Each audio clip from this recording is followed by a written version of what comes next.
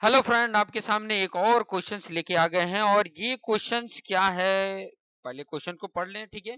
देखिए, ये simple questions है और इसको कॉम्प्लिकेटेड कई सारे लोग बना देते हैं। देखिए, ये वन है, देखिए सेम वैसे ही वन है, फिर यहाँ पर टू है, फिर इनको ऐड करोगे थ्री है, फिर बाद में आगे आगे डैश डैश करके कहाँ तक है?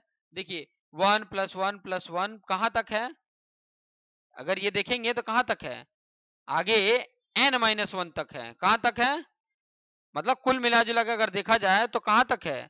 एन माइनस वन तक है। टर्म क्या है? N minus one. मतलब ये जो सम करोगे ना, ये अगर लास्ट में देखोगे तो ये क्या सम आएगा? एन माइनस वन तक। ये टर्म है। टोटल एन माइनस वन तक टर्म है।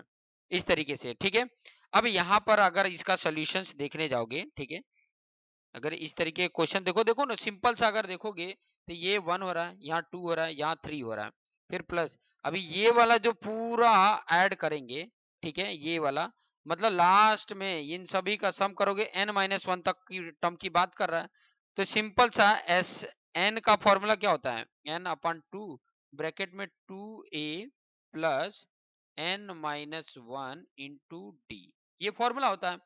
अब यहाँ पर हमें एन माइनस वन तक पता करना है, देखिए एस एन माइनस वन मतलब एन की जगह पे हमें क्या करना है? माइनस वन पुट करना है। यहाँ पे देखिए, ए की जगह पे क्या है? देखिए, वन से स्टार्ट पहला टर्म ए है, वन है तो वन रख दिए।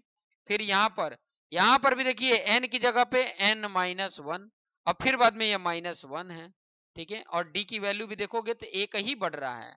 इस तरीके से सॉल्व करेंगे। अभी यहाँ पर है n minus one divide by two, यहाँ पर है टू, और यहाँ पे देखोगे तो एन माइनस टू है। एन माइनस टू तो इस तरीके से ये माइनस टू और ये माइनस टू का, क्योंकि वन का मल्टीपल करोगे तो वही आएगा। यहाँ बचा एन तो आ क्या रहा है? देखिए n minus one divide by two एक तरफ़ और एक ब्रैकेट में एन आ गया। तो ये ऐसा क्वेश्चन कहाँ देखने को मिल रहा है? तो आपको अगर देखोगे तो ए आपका ऐसा आंसर दिख रहा है। तो इस तरीके से आपका आंसर क्या हो जाता है? ए ऑप्शन राइट हो जाता है। तो ऐसे ही क्वेश्चंस हमारे सामने आते रहेंगे और हम इसको सॉल्व करते रहेंगे। धन्यवाद।